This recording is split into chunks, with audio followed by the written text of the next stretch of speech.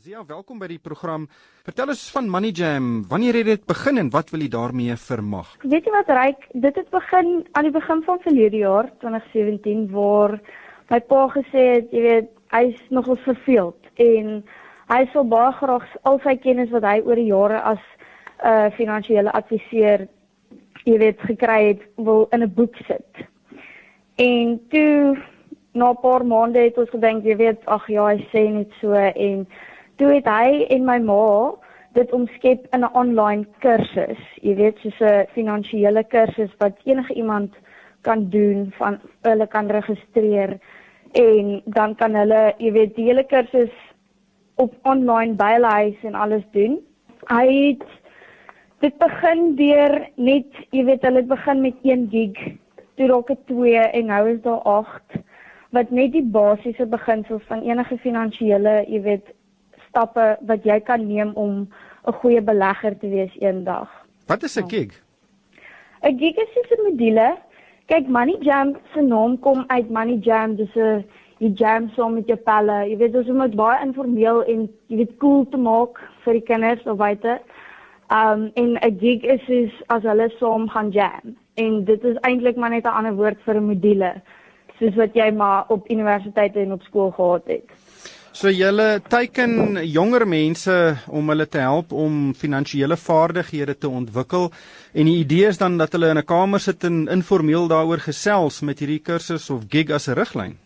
Ja, dit is omtrent so. Dit is nie net vir jong mense nie, dit kan vir ouer mense ook wees. Ons het mense wat al oor die 50 is wat geregistreer het, maar die teiken vir ons spesifiek is die mense kinders tussen 16 jaar en 24 jaar en hulle hoef nie noodwendig bymekaar uit te kom nie jy weet alles is deesdae online, so jy kan bymekaar jy kan soos 'n group chat vorm en deur jou mentors praat, jy weet ons het mentors wat vir jou help om jy weet as jy sukkel met die met die program dat jy dat hulle jou uithelp.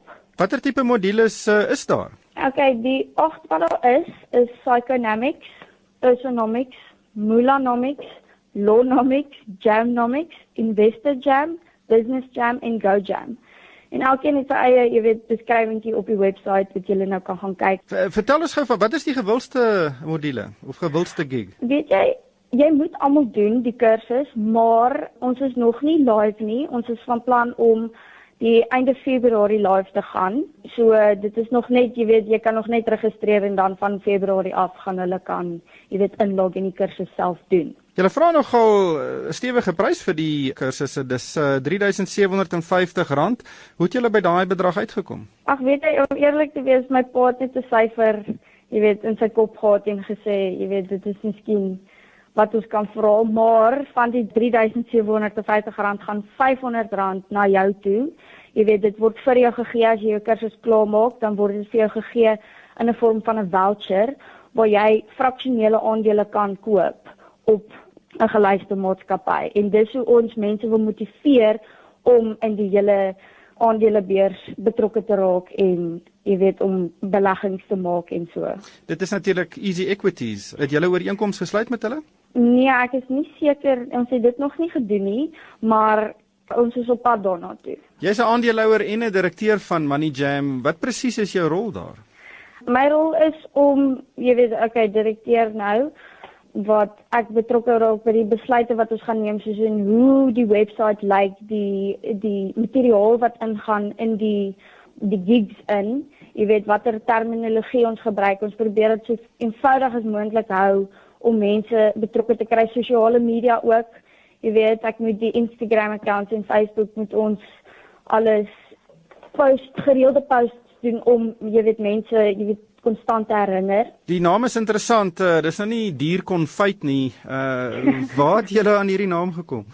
Uh weet jy wat ek um, ek het dit my pa het met dit opgekom. Hy het gesê dit klink vir hom cool.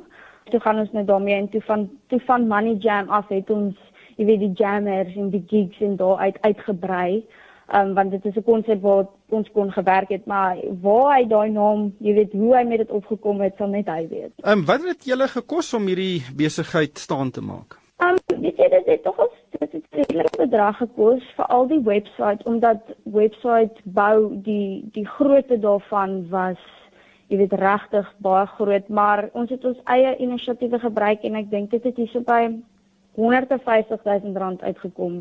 Jy weet die totale ding, die gigs en die websites en al die uitgawes. Wat was die grootste uitgawe?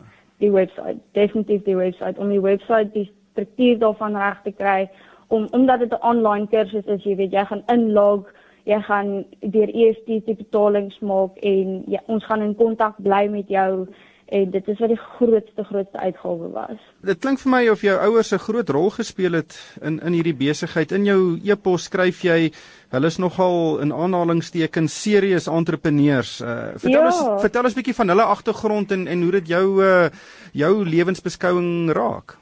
Ag ek is baie bevoorreg om hulle as ouers te hê want hulle het my van klein af, jy weet, geleer hoe geld werk en hoe beleggings werk en al daai tipe dinge.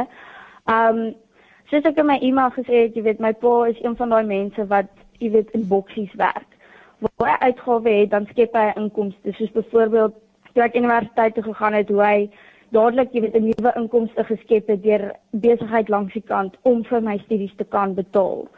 En dit het jy weet van 'n klein tyd af gekom, jy weet toe ons skool toe gegaan het en toe ek perd gery het en al daai dinge waar hulle net regtig moeite gedoen het om vir ons te wys hoe die wêreld daar buite werk en hoe ons beleggings kan gebruik om ons net te bevoordeel.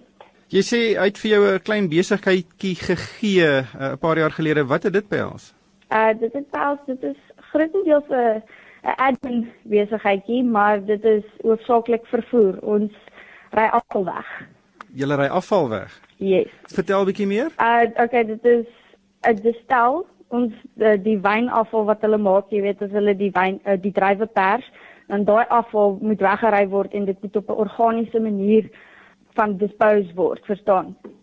So dan vat ons dan ry ons dit met trokke weg en sit dit op groen vullishope. Jy swat nou rekeningkunde by by Stellenbosch, um, jy's in jou tweede jaar. Ek het ook daai paadjie geloop en ek was nog in 'n in 'n koshuis en en baie van die mense wat saam met my studeer het, het glad nie 'n entrepreneursiese fokus gehad nie. Dis nou maar uh, swat om rekenmeester te word en dan 'n CA en dan vir 'n groot maatskappy ja. te werk en 'n groot hoop geld te verdien. Wat is die die die die manier hoe baie van die mense rondom jou dink oor entrepreneurskap en uh dink jy daar's 'n verskil tussen die manier hoe hulle dink uh, indien hulle ouers baie entrepreneurs was of nie? Ag ek seker dit is dit sal jou baie bevoordeel as jy wel groot geword het met ouers wat baie soos entrepreneurial is.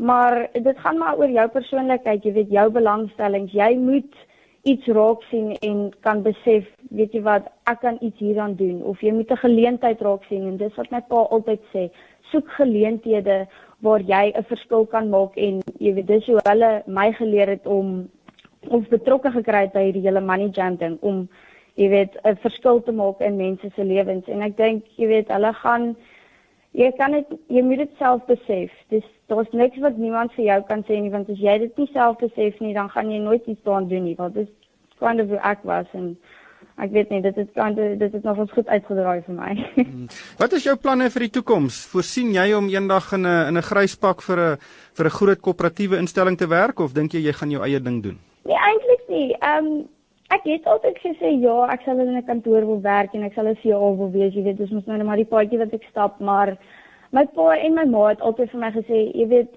om direk te gaan so dit maak net vir jou meer deure oop. Jy hoef nie agter 'n kantoor te gaan sit en vir iemand te werk nie. Jy kan jou eie baas wees. En dit is, jy weet, dit het my laat dink en weet jy wat, ek sou dit baie eerder wil doen as om vir iemand te moet werk eendag om my eie entrepreneur te wees en om net my eie baas te wees, te kan doen wat ek wil, verstaan. Ek dink dis wat almal sou wil doen eendag op my ouderdom.